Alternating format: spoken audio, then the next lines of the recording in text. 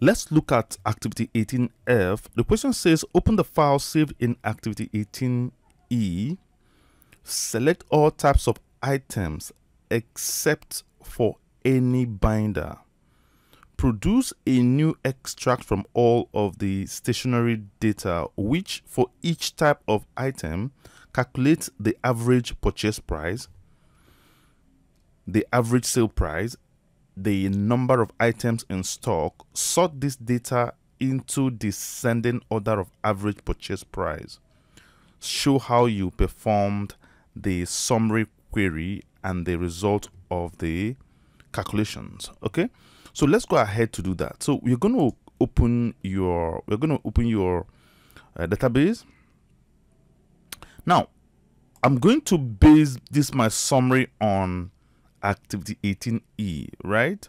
And then I will later save it as activity 18F, right? So you want to go to create, you want to go to query, you want to pull in the table that you want, which is activity 18 E. By the way, you can also use activity 18A table, which is the stationery table, to actually uh, perform this. Okay.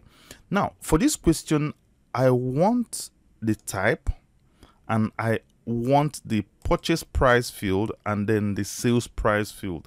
These are the fields that I will need for this particular question. So if you if you run this now, you will see that you have the type. Now, if you look at the question very well, you will see that it says select all types of items except for any binder. So if you look under the type field, if you go down, you're going to see binder. We don't need this binder binder to appear, right? All this, we don't want all this binder to appear.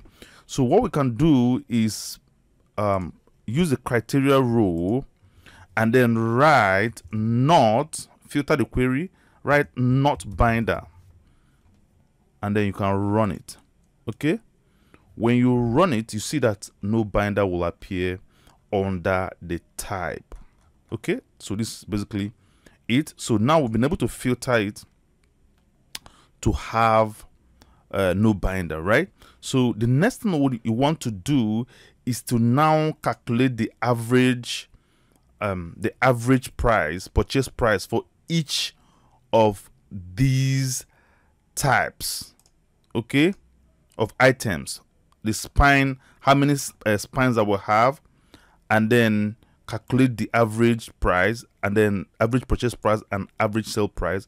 Of course, we need to have one more, um, you know, field here that will also calculate the number in stock for each of the items the lever arc file the spine label the organizer file and the rest right so let's go back to the design view what you want to do here is you go to so let's add one more field actually. Let's add one more field. So let me just add type. I'm, I'm going to change it because I, I, will use it for the uh, number of stock um yeah number of items in stock right? So here you want to click on total. So you see this uh, group by and then under under this total you want to choose average under p price and then you want to choose also average under s price.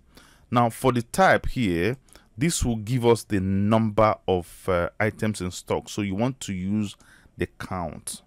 Okay? So we can run this and then we can have this right? So we see the fields here.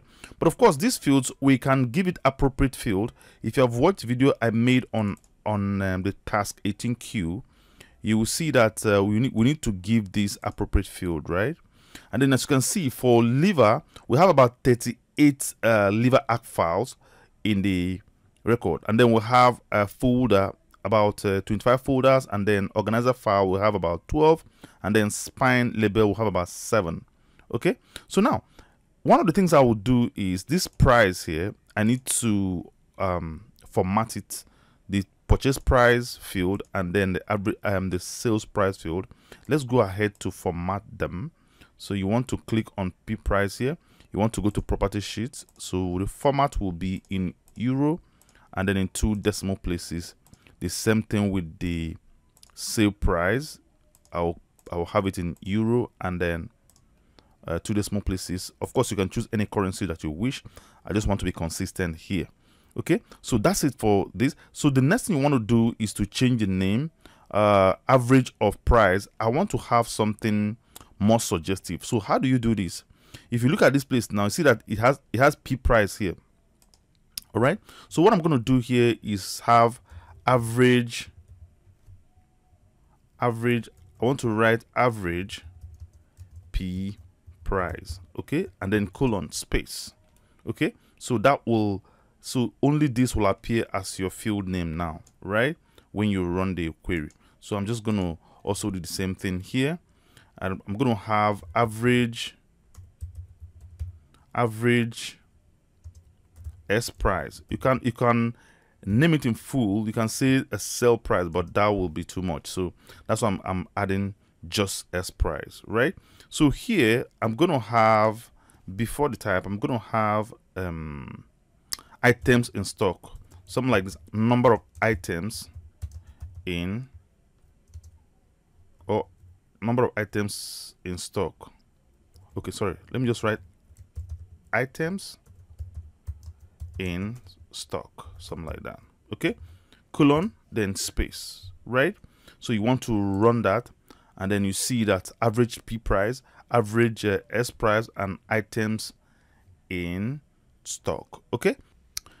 Now to sort the data into descending order of uh, average purchase price what we need to do here is simply go go to your design view here.